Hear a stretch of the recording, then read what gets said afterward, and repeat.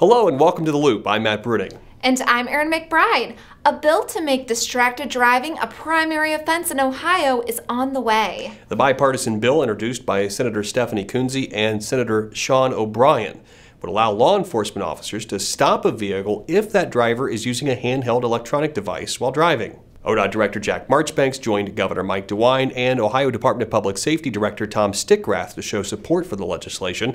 The governor is committed to addressing the growing issue following the release of a report by a task force on distracted driving.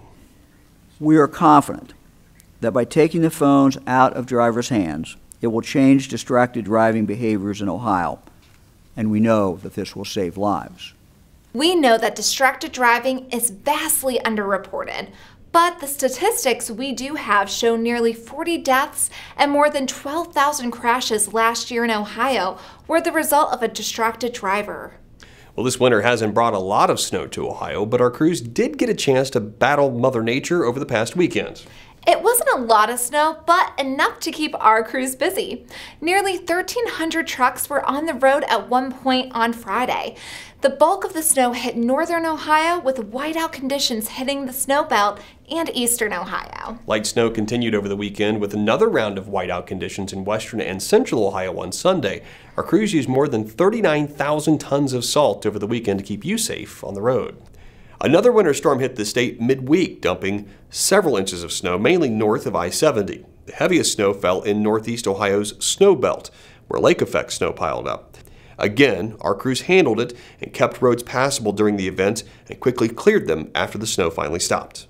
Since it's Valentine's Day, our Knew Guru is here to share the love our crews got on social media. Hey, thanks so much. Look, we're here at the Hilliard Garage, and you know, with this past winter storm, I got my fellas here with me. They've all been out working this weekend, right? Yes, sir. Right. You did like what, 12, 16 hour shifts? Yes, sir. sir. Well, you know, there's nothing I like to do more than to spread some love, so I'm here to deliver some love letters from social media. So check this out. M- Michelle from uh, Columbus. She says, I was quite impressed with the conditions of Columbus highways this morning. Nice job by the drivers. That makes me feel real good. Okay, we got one from Becca. I would like to thank each and every one for clearing and salting the roads and the interstate. Without, we couldn't get around safely, and thank you. From Anthony Caldwell, I just drove from Columbus to Youngstown. Clear roads, no issues. Thank you, ODOT. You guys, you work hard.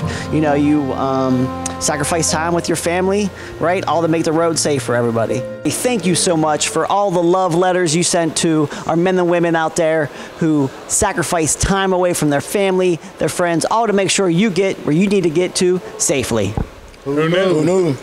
Get more ODOT news online at transportation.ohio.gov. Follow us on social media. And we always love your story ideas and feedback to loop at dot.ohio.gov. And now you're in the loop. Happy Valentine's Day. Ew.